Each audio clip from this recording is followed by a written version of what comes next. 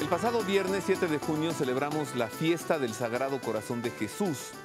Hace casi 400 años el Señor se apareció en la localidad de Paray-le-Monial en Francia a una religiosa de la Visitación, a Margarita María de Alacoque, y le entregó una serie de revelaciones, mensajes, promesas y le dio a conocer una devoción que se extendió rápidamente por todo el mundo. Con ocasión de esta celebración, hoy hablaremos sobre estos mensajes, estas revelaciones y su contenido teológico profundo. El Sagrado Corazón de Jesús, hoy en el pulso de la fe.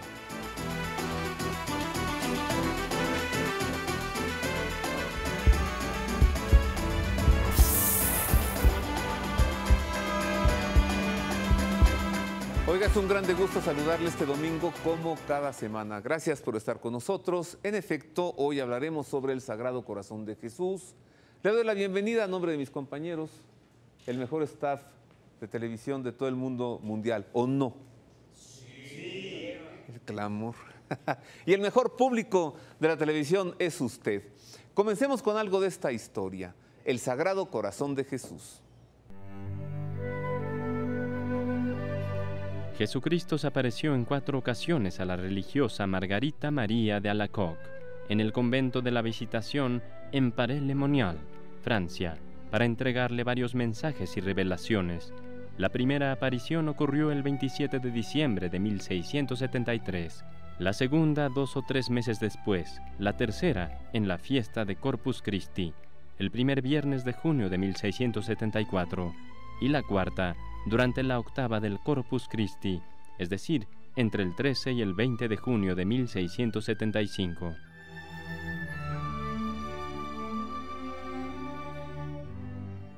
Margarita María recibió una reproducción de la herida del costado de Jesús cada primer viernes de mes, desde la primera aparición hasta el día de su muerte. Eran los momentos elegidos por el Señor para descubrirle los secretos de su amable corazón. Durante la segunda revelación, el Señor le hizo ver el ardiente deseo que tenía de ser amado por los hombres y apartarlos del camino de la perdición, y le prometió esparcir sus gracias y bendiciones por donde quiera que estuviese expuesta su santa imagen para tributarle honores, y que tal bendición sería como un último esfuerzo de su amor, deseoso de favorecer a los hombres en estos últimos siglos de la redención amorosa, a fin de apartarlos del imperio de Satanás. En la tercera revelación le presentó varias peticiones. Le descubrió las inexplicables maravillas de su amor puro con que ha amado hasta el extremo a los hombres, recibiendo a cambio ingratitudes y desconocimiento. Le describió cómo realizar la práctica de la devoción a su corazón, junto con su propósito, que era la reparación y le avisó sobre las tentaciones del demonio para hacerla caer. Durante la cuarta revelación le manifestó su deseo de establecer en la iglesia una fiesta para honrar el Sagrado Corazón de Jesús, el primer viernes después de la octava del Corpus Christi, para comulgar ese día, pedirle perdón y reparar los ultrajes por él recibidos durante el tiempo que ha permanecido expuesto en los altares, y le prometió esparcir en abundancia las influencias de su divino amor sobre quienes le hagan ese honor y procuren que se le tribute. La vida de Santa Margarita María estuvo marcada por experiencias sobrenaturales que nunca fueron causa para escapar a las realidades cotidianas, sino al contrario, le trajeron duras pruebas y la necesidad de ejercitar heroicamente las virtudes que forjan la santidad en la vida diaria el Sagrado Corazón de Jesús. Esto para comenzar, ¿eh? Pero para continuar y profundizar, miren nada más a quién tenemos aquí, al mejor teólogo de México y del mundo. No, porque luego despertamos celos, de Padre sí, Rafa? Sí, sí, simplemente estoy aquí a las órdenes para explicar teológicamente la excelencia, necesidad gozosa, dice Pío XII en la Orietis Aquas es todo un tratado sobre qué significa, qué es y qué frutos produce la devoción al Sagrado Corazón de Jesús y la necesidad de indagar, estudiar y profundizar este misterio de amor que el corazón de Cristo nos está manifestando así, abierto, para que tomemos todo lo que necesitemos y entremos cuando queramos. El padre Rafael López López es misionero del Espíritu Santo. Es mi amigo, Dios me lo regaló. Sí, sí, somos es también hermanos. un gran... Somos hermanos. Es un grande teólogo, además. Tiene ocho licenciaturas. Cinco, Cinco licenciaturas. Seis licenciaturas. Seis. Sí, cuatro- Maestrías. Cuatro maestrías. Doctorados. Cinco doctorados. Libros, más de ciento, Sí, cien mil. cien- no, tengo ciento, 114. 114 libros. Y escribió uno en italiano en 1965 Cinco. que se llama Il cuore sacerdotale di Cristo, il capolavoro dello Spirito Santo. y traducido al español se llama El corazón de Cristo, obra maestra del Espíritu Santo. Uno de los ciento 14 libros. que ha escrito el Padre Rafa. Sí, a sus órdenes. Pero esto no es nada más contar la historia de las apariciones y la devoción. no, no Esto toco es ese tema. Una teología Sí, profunda. es la teología del corazón de Cristo. Háblenos, por favor, Sí. Padre Rafa, ilústrenos. Pues dice el Santo Padre, bueno, son cinco los pontífices que se han preocupado de ilustrarnos sobre la excelencia de esta devoción, comenzando por León XIII, después Pío XI, claro, evidentemente, Juan Pablo II, pero uno que nos dejó una encíclica específicamente sobre la teología del Espíritu Santo fue Pío XII. La Ah. encíclica se llama Aurietis Aquas. ¿Por qué? Porque Juan nos habla de cómo les prometía la efusión del Espíritu Santo brotando del corazón abierto de Cristo. Aquella poca sangre que tenía y el torrente de agua era la manifestación de esa caridad hasta el extremo, porque eso es lo que significa el corazón de Cristo, la manifestación tangible, personal del amor de Dios hacia nosotros.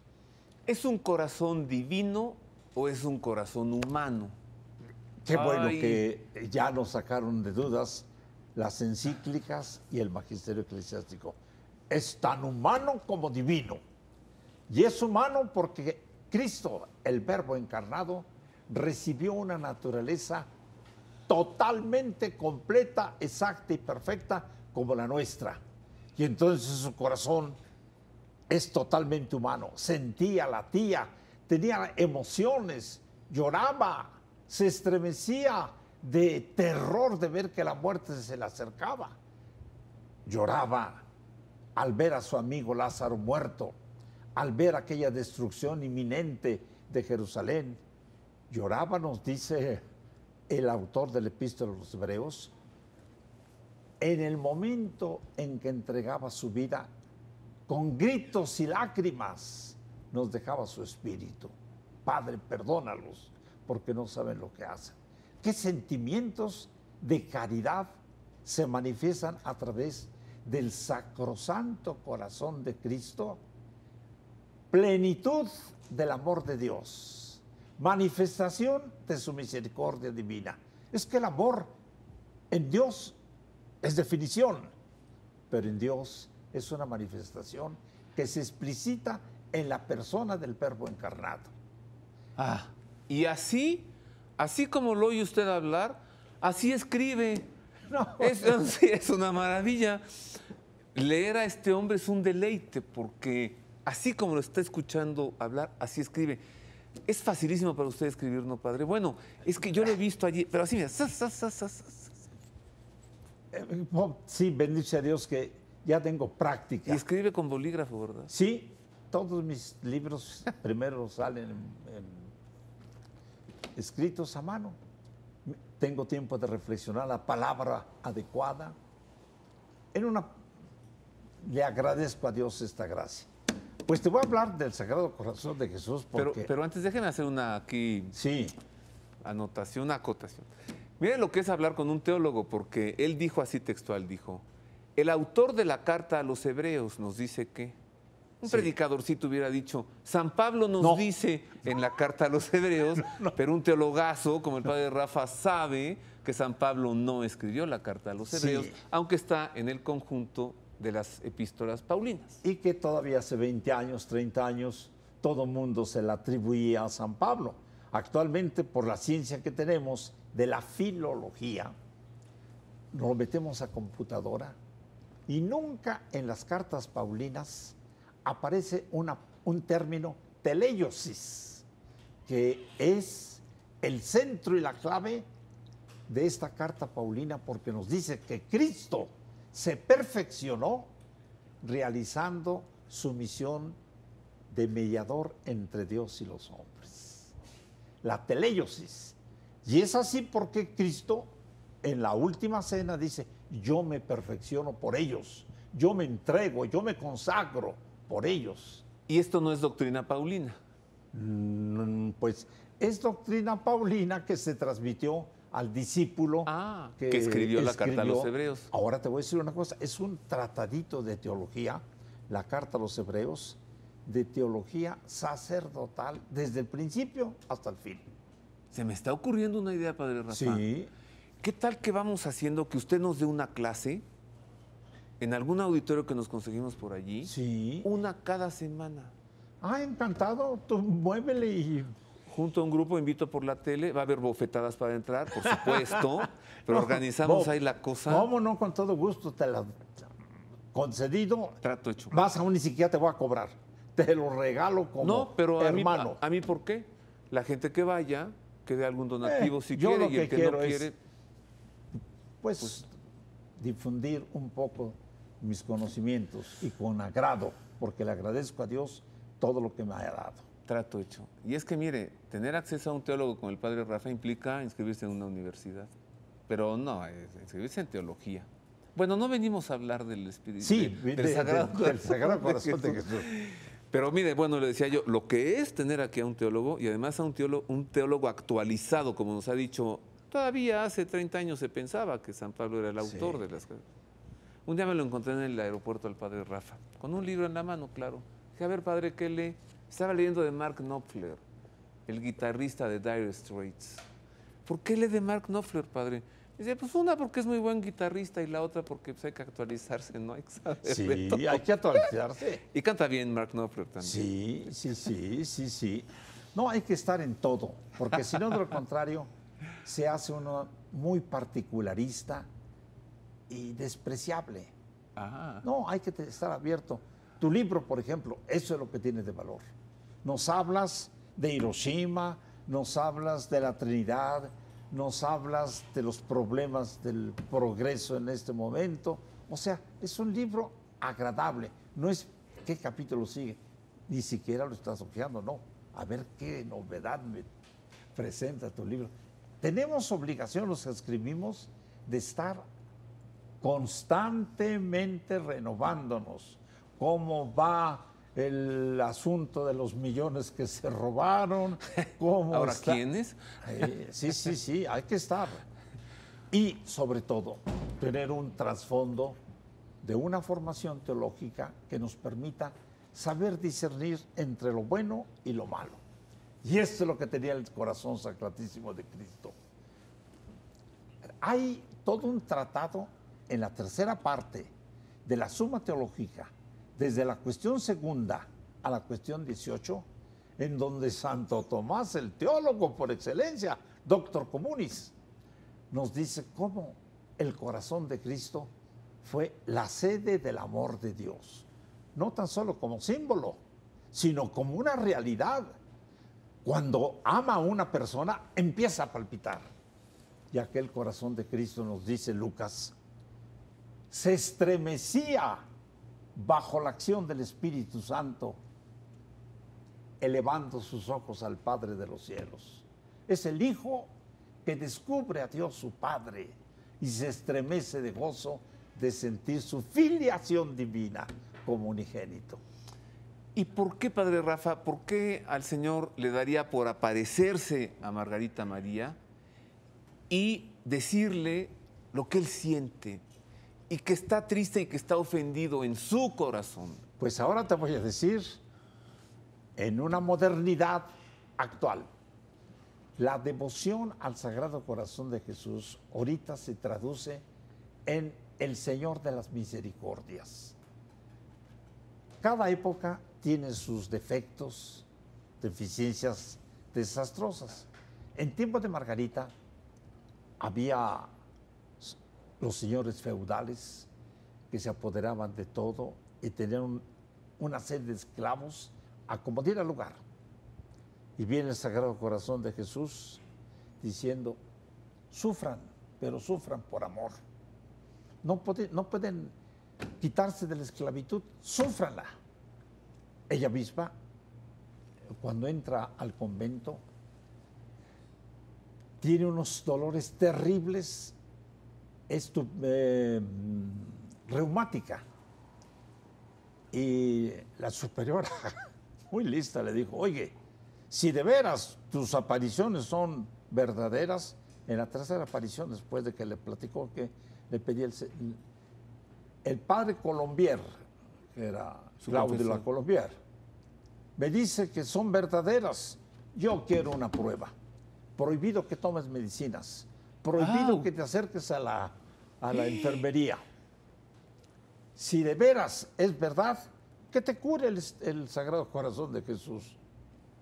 No habían pasado tres días y aquella muchacha perfectamente bien, como la religiosa más, más eh, santa y más eh, sana del, convento. ¿Qué tal? O sea, ah, entonces en tiempo de Margarita María Coca estaba también una situación, pues que somos los hombres maniáticos de volver a nuestros vicios y a nuestras malas actitudes. Y también por eso el Sagrado Corazón le pide que sepa sufrir, pero sobre todo, que se olvide del egoísmo, mm. que prediquen que Dios es amor y que entonces el símbolo del corazón de Cristo va a decir, este amor quiere comunicarlo a los demás. Vean el corazón que ha amado tanto y que ahora quiere también recibir como respuesta de gratitud el amor de los hombres alabando al Padre. Extraordinario. ¿eh? El rey era Luis XIV, en tiempos de Margarita María. Luis XIV. Eh, unos pocos años después estaría estallando la, ilustración y la, revolución francesa y caería la monarquía. Sí. Y había pedido nuestro Señor a Margarita María que se le edificara una basílica y el rey no quiso hacerla. No quiso hacerla. Pero ¿qué tal después? Ah, no. En Montmartre. Oye, pero te voy a decir una cosa que yo me la sé porque yo estudié en la Sorbona. No más, ¿no? Y iba a hacer mi adoración a la Basílica de Sacré-Cœur. El... Y me hice muy amigo del párroco. Y me dijo, oye, ¿no sabes que duró mucho tiempo sin construirse la basílica porque no teníamos dinero? Y llegó una mujer en una bolsa de papel y dice, quiero hablar con el párroco. El párroco estaba ocupado confesando. Y dice, bueno, no, no puedo hablar con el párroco, le entrega, por favor. Y le dio lo que equivaldría actualmente a dos millones de pesos. No de los que se clavan estos señores, no. le dio los dos millones para que siguiera la construcción. Y no, no supo ni siquiera quién había sido siguió la construcción. O sea, no hay modo de tener el teléfono de esta mujer. a ver si nos ayuda, ¿verdad? si no, con dos, con uno. Para... Bendito sea Dios. Ah, bueno, entonces volviendo al Sagrado Corazón. Debo hacer una pausa. Sí. Y volvemos al Sagrado Corazón. Sí, cómo no. Y volvemos con Margarita María. Sí. Después de una pausa.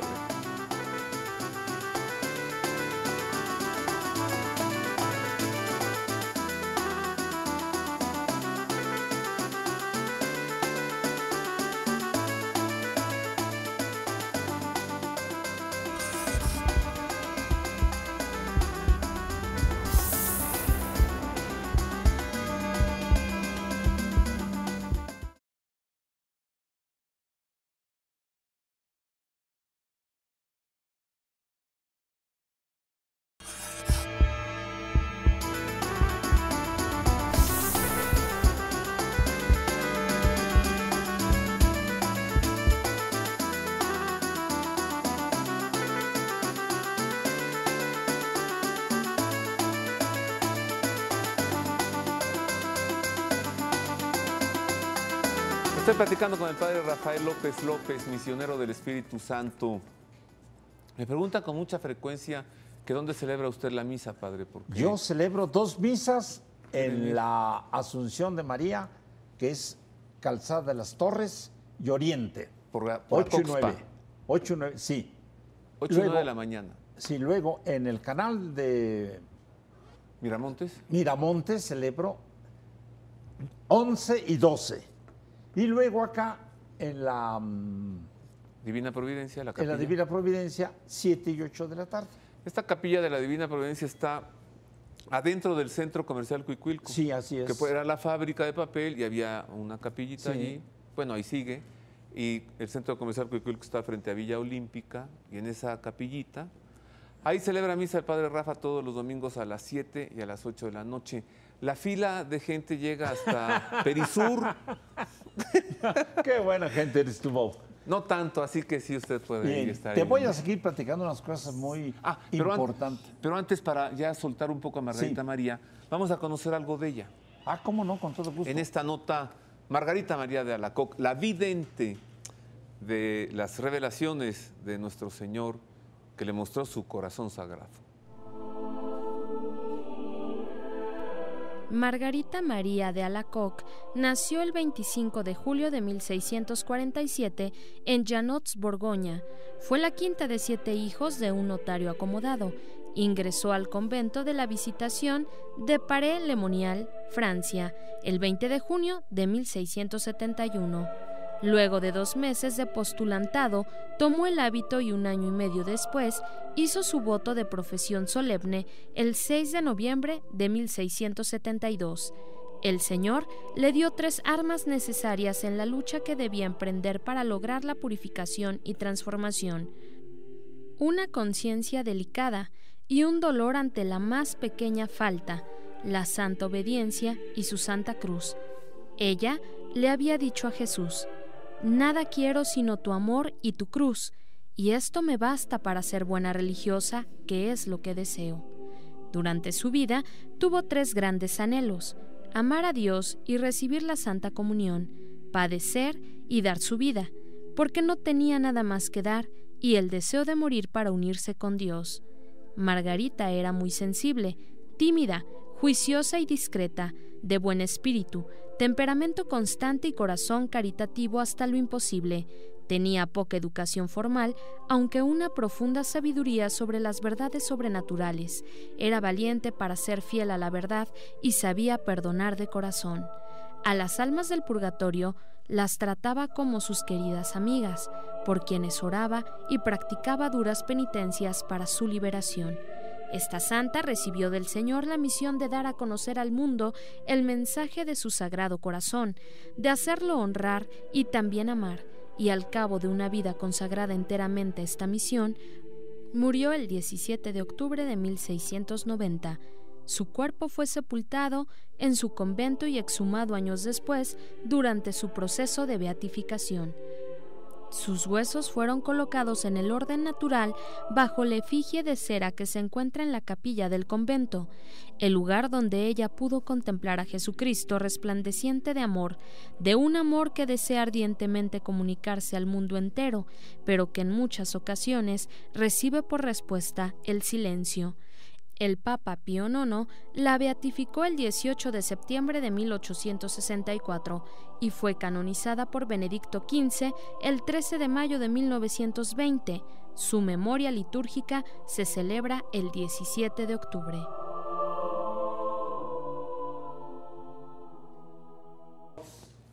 Algo de Margarita María. Padre Rafa, usted nos tiene que decir mucho más del Sí. corazón sagrado de Jesús, que casi en todas las casas hay una imagen. Sí. Eh, ojo. Pío XII es un pastoralista indiscutiblemente, pero él había sido profesor de teología, nuncio en Alemania, de una formación muy estricta. Y se atreve a poner en su encíclica, no quiero de ninguna manera hacer a un lado los aspectos externos de la manifestación piadosa a esta devoción. Pero lo principal es interiorizar en los sentimientos de ese corazón que nos ha amado tanto y conocer qué es y qué hace por nosotros. Nada más te voy a decir una cosa. Desde el primer momento en que Cristo existe, que es la unión de la naturaleza divina con la naturaleza humana, Él comienza a latir como hombre, pero como nosotros decimos en teología, acciones son suppositorum. Las acciones pertenecen a la persona. Y en Cristo nada más había una sola persona. Entonces, desde el inicio hasta actualmente en el cielo, vive ese corazón intercediendo por nosotros. ¿Desde el inicio cuál inicio? De la encarnación. En el momento en que comienza a existir Cristo, naturaleza divina, por la acción del Espíritu Santo unida a la naturaleza humana, allí comienza a latir el corazón sacratísimo de Cristo.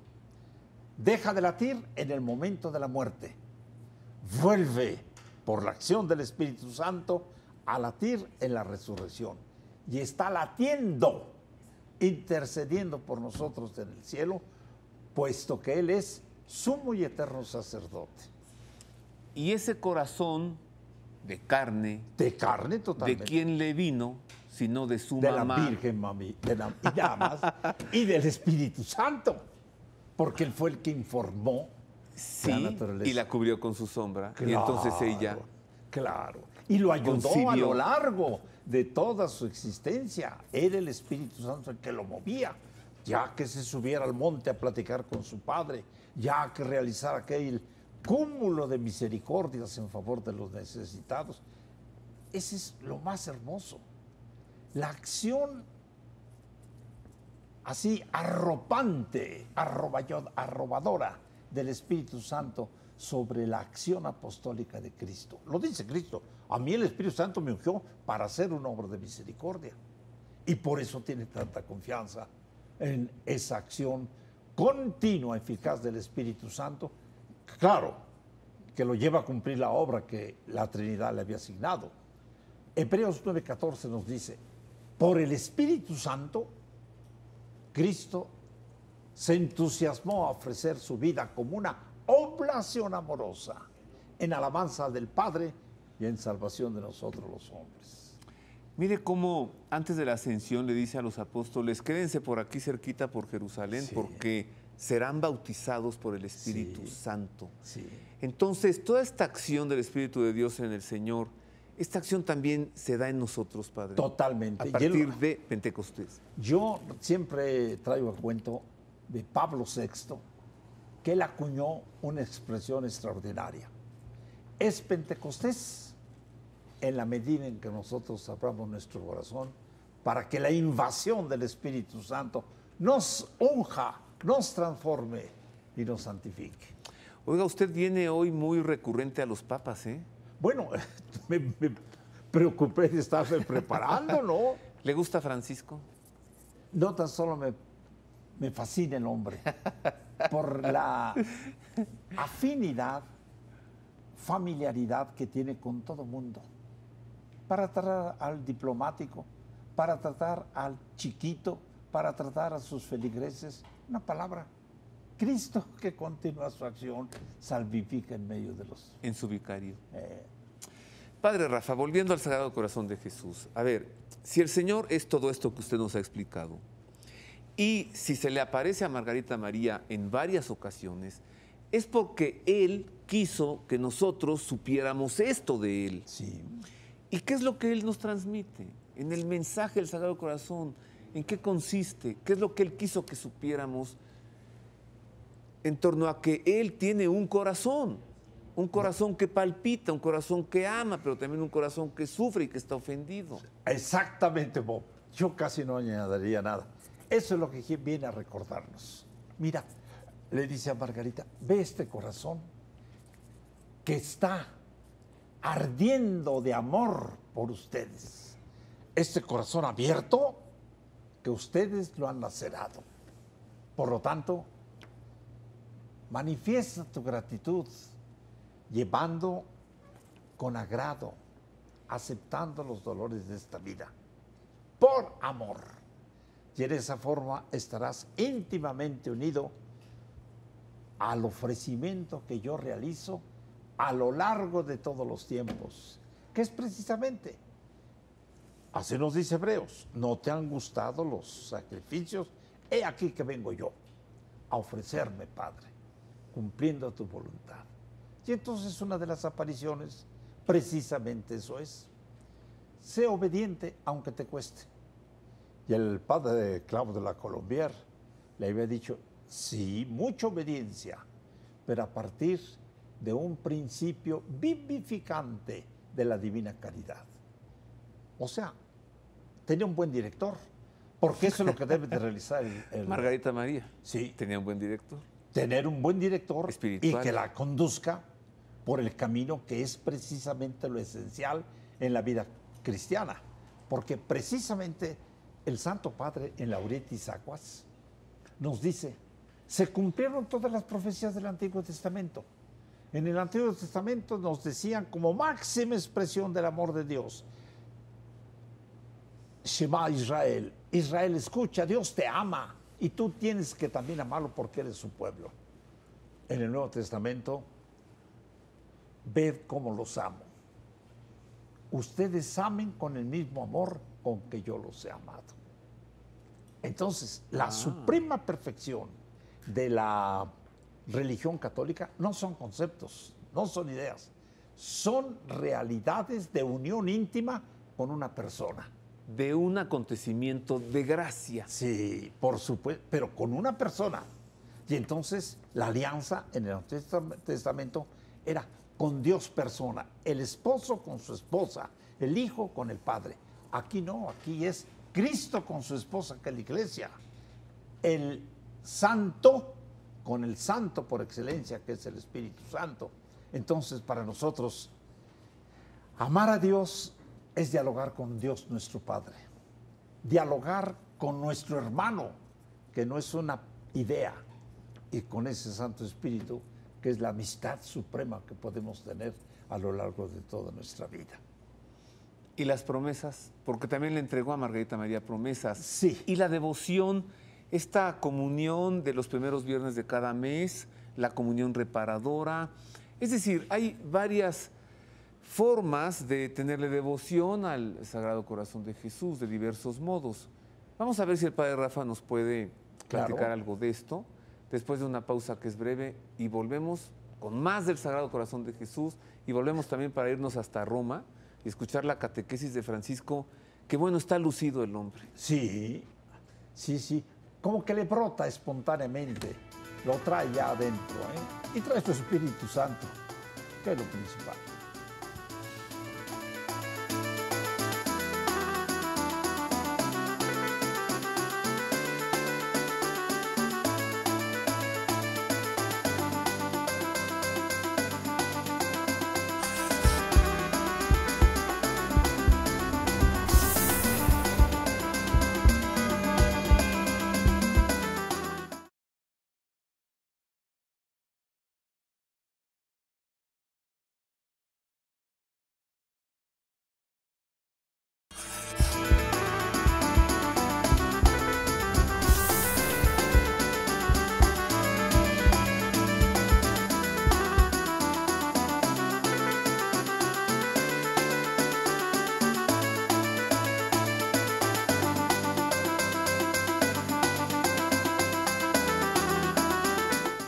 Platicando de lujo, de lujo con el padre Rafael López López, misionero del Espíritu Santo. Estamos hablando sobre el Sagrado Corazón de Jesús, las revelaciones, las promesas a Santa Margarita María de Alacoc. Hace rato platicábamos de la Basílica al Sagrado Corazón de Jesús en París, el Sacre Cuore, en Montmartre. Pero hay una basílica, a ver, Padre Rafa, si usted la ha visto, en Quito, capital de Ecuador, que el presidente de Ecuador se trajo arquitectos de Francia. Es una cosa que la ve y dice, ¿cómo puede estar esto aquí? Parece como algo de Europa, ¿no? Gótico, enorme. Y le llamaron la Basílica del Voto Nacional, porque el presidente consagró Ecuador al Sagrado Corazón de Jesús con el Congreso, con los obispos. ¿No la ha visto? No tan solo he visto esa ah. misa allí. Sí, es que yo fui profesor, fui profesor en, eh, se llama, se llama, está en, en Colombia y allí nosotros íbamos a ser profesores de sacerdotes, pero desgraciada y afortunadamente aprovechamos el tiempo para irnos a pasear, que a Quito, íbamos a Guayaquil, a todas esas partes.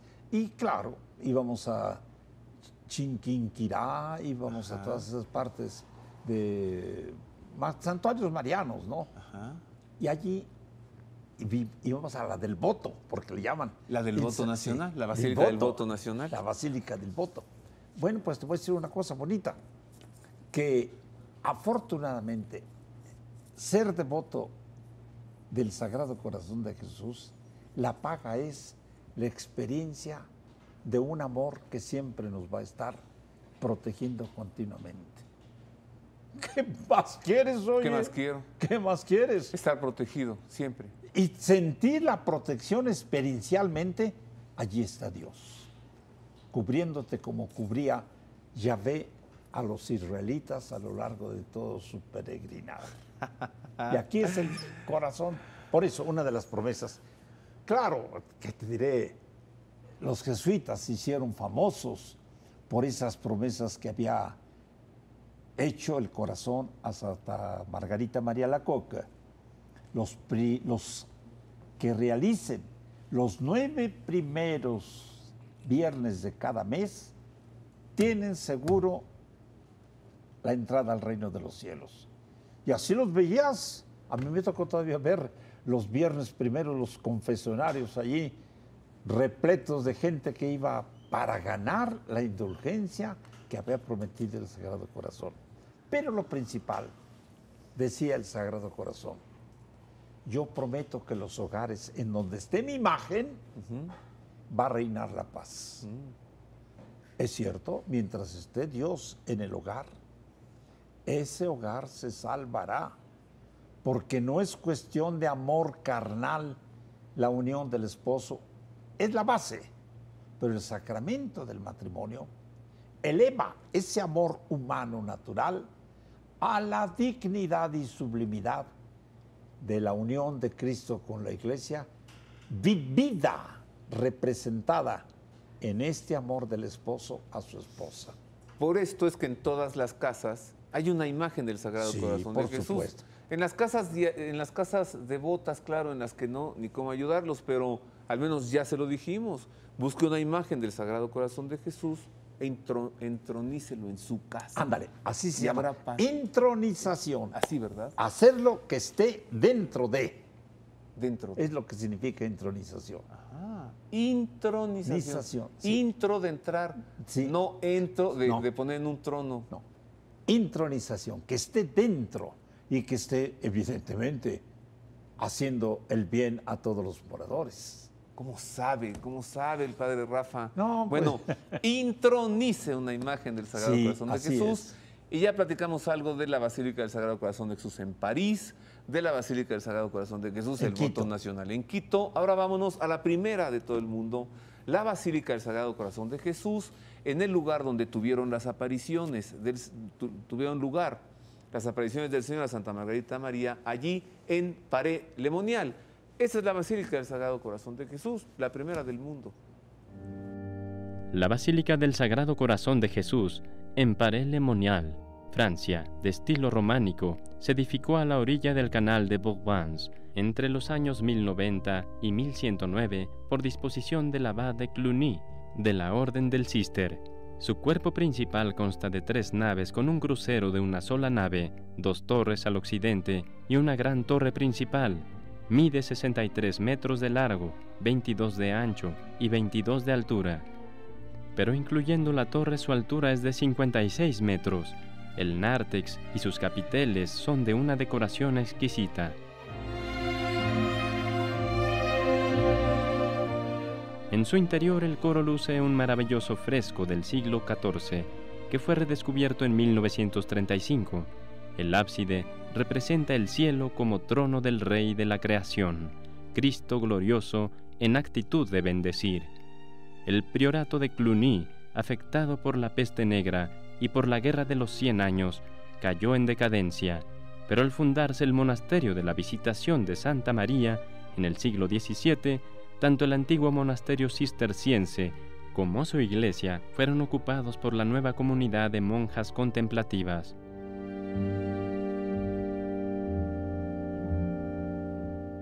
A principios del siglo XIX la abadía fue atacada y destruida por las hordas de la Revolución Francesa. En 1875 la iglesia fue elevada a rango de basílica y dedicada al Sagrado Corazón de Jesús. Desde 1986, la comunidad de Emmanuel se hace cargo de este santuario que cada año recibe a más de 3.000 peregrinos procedentes de todo el mundo.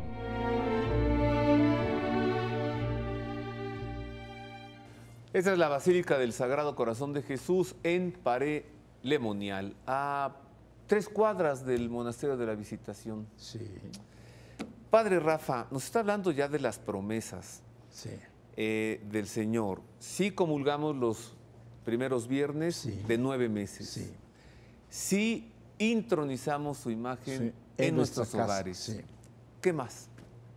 Lo principal, si nos esforzamos, como dice Pío XII, por conocer quién es, qué hace y qué realidad es el Sagrado Corazón de Jesús en nuestra vida. Porque podemos tener el Santísimo Sacramento si nunca lo visitamos. Ah, sí. Podemos tener el Santísimo Sacramento si no sabemos qué beneficios son los que nos... Ah, entonces dice Pío XII, tres cosas. Conocerlo para amarlo y amarlo para imitarlo. Entonces, esa es la obligación. Conocerlo, Para amarlo, amarlo. e imitarlo. Sí. Hay una cuestión muy, muy simple. En Qué psicología, buena fórmula. Conocerlo para amarlo y amarlo para Pues son los principios que utilizamos en psicología. No hay nada que amemos sin antes conocerlo. Y en la medida en que conocemos, en esa medida la voluntad se apodera de esta verdad y nosotros nos impulsamos a adquirir aquella bondad.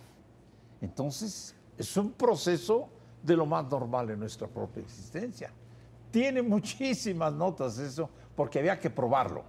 El libro este del, eh, te vas a dar cuenta que Sí, es que yo ya no sé teología. si oírlo a usted, conducir el programa o leer. Este No, ahora verás que te va a gustar, porque sí, nada más es esto. Los dones del Espíritu Santo vivificando la actuación de Cristo humanamente, en su naturaleza, fortaleciéndolo para que realizara su obra de redención, dándole la experiencia del Hijo, es el don de piedad, como le convenía como unigénito. La ciencia, descubriendo el don que el Padre de los cielos le hacía a su unigénito, el don de entendimiento, haciéndole comprender el misterio del dolor redentor a Cristo. Y sobre todo, el don de sabiduría, dándole el gusto de lo que significan las realidades divinas. Sí, ya, ya estoy viendo que usted explica aquí los siete dones del Espíritu Sí. Santo a partir de. Le digo que ya no sé si con este, escucharle o leerle. Capítulo cuarto, el corazón sacratísimo de Jesús bajo la acción transformante de los dones del Espíritu Santo. Claro. Y luego explica los siete dones. Sí, ¿por qué? Porque primero puse cómo el Espíritu Santo preparó a Cristo para el mayor sufrimiento que le correspondía como redentor, pero también cómo lo preparó con la mayor alegría, puesto que era el unigénito que había cumplido la voluntad del Padre de los cielos hasta entregar su vida como una expresión de amor. Y en Filipenses y en Gálatas y en Colosenses decimos, porque se hizo obediente hasta la muerte de cruz, el Padre lo constituyó jefe, rey universal. ¿Y ya fue usted con las monjitas del Monasterio de la Visitación allí en Campana 47, Mixcuac, No salgo para de ahí. platicarles del Sagrado Corazón de Jesús? Bueno, no les he platicado de eso porque siempre me llaman a primeras comuniones o a 15 años. Y claro. la madre Marta. Sí, les platico de eso, ¿no? Y sobre todo que conocí mucho a una madre que murió, pues sí, con mucha virtud. Eh, Álvarez y Casa. ¿Usted conoció a, la madre María Angélica Álvarez y Casa? Calla, la que me mandaban a que la fuera a examinar porque soy especialista en teología mística. La mujer aquella que yo iba a examinar me dijo, padre Rafa, qué bien que vino a verme. Y empezó a platicarme de mi vida. Si yo era la que iba a examinarla, oye. Ah, sí. Sí, hombre. Me, yo dije, no, todo es de Dios, hermana, en nombre del Padre. Y me salí, mano. Dije, que me está, está, examinando a mí, ¿no? Oiga, ¿transverberada ella? No tan solo. Yo vi, y puedes verlo. Ajá.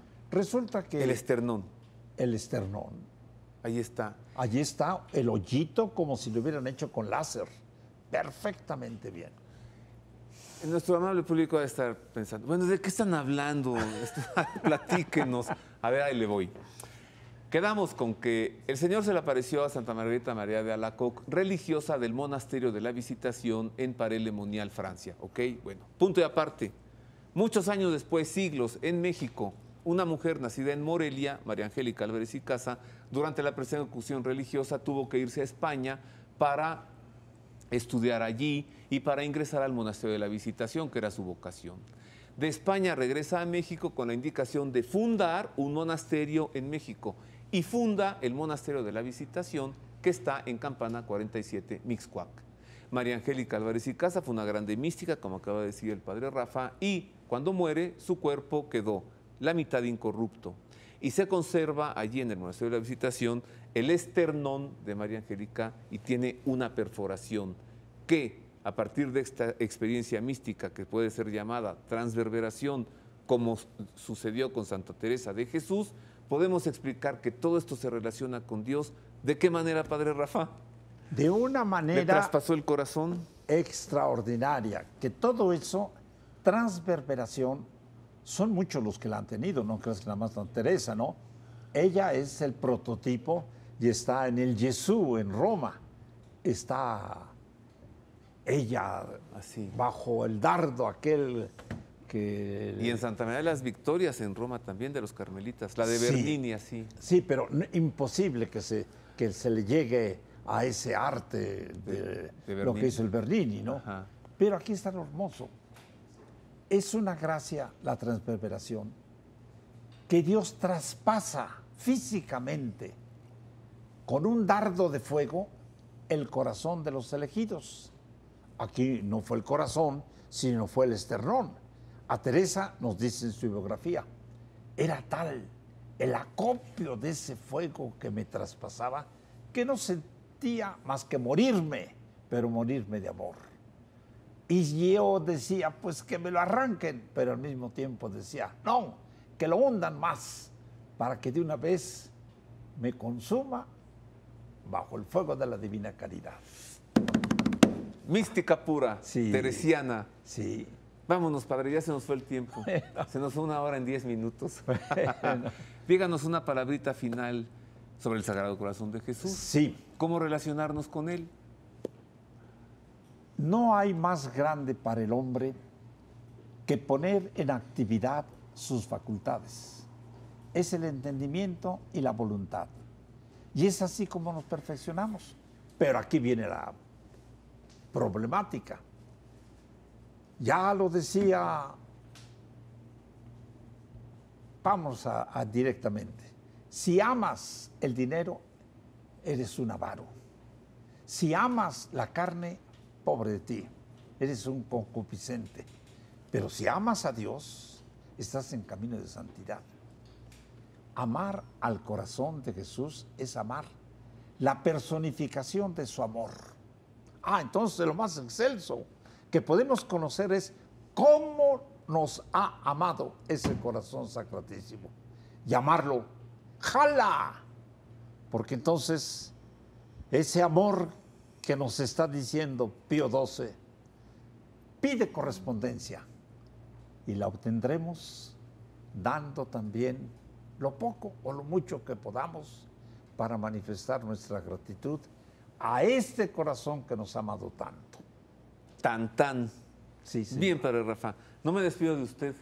Nomás le vengo a decir que nos vemos al rato, en dos horas, Sí. en sí. misa. Claro que sí, Bob. que ahí Dios te bendiga mucho. de Muchas la gracias. Divina Providencia. Vamos hasta Roma a ver qué nos dice el, pa- el Papa Francisco en la audiencia del pasado Pues, miércoles. ¿qué les va a decir? Lo mismo, que Dios los ama. A ver, vamos a ver.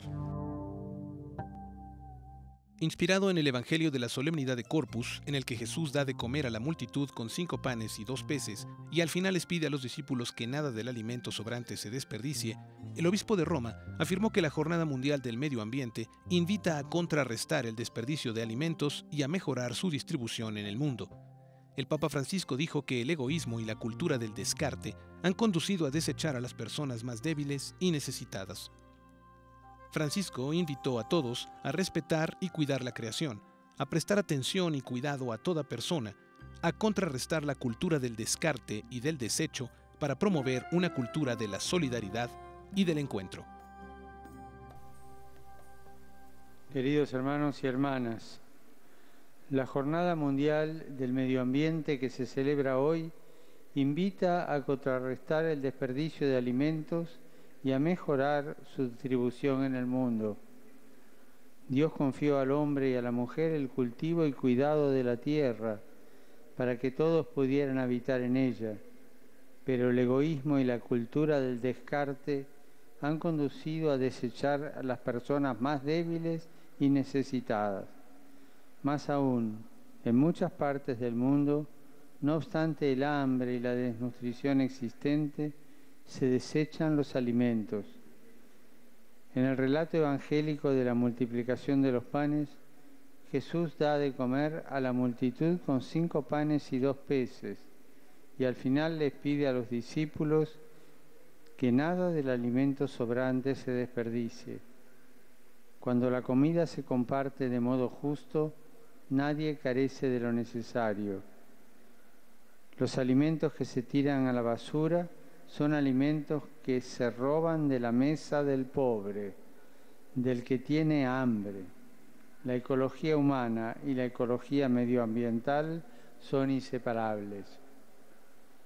Saludo a los peregrinos de lengua española, en particular a los grupos provenientes de España, Colombia, Uruguay, Argentina, México y los demás países latinoamericanos. Invito a todos a respetar y cuidar la creación, a prestar atención y cuidado a toda persona, a contrarrestar la cultura del descarte y del desecho, para promover una cultura de la solidaridad y del encuentro. Muchas gracias. Dominus Vobiscum. Et cum spiritu tuo, Sit nomen Domini benedictum. et soc usque in saeculum, Aiutorum nostrum in nomine Domini. qui fecit celum et terra.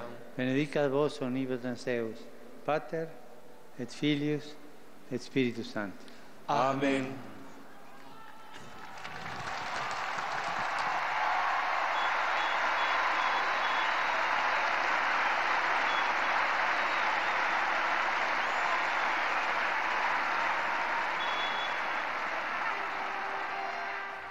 Pues este es el resumen de la catequesis del Santo Padre Francisco el miércoles de esta semana.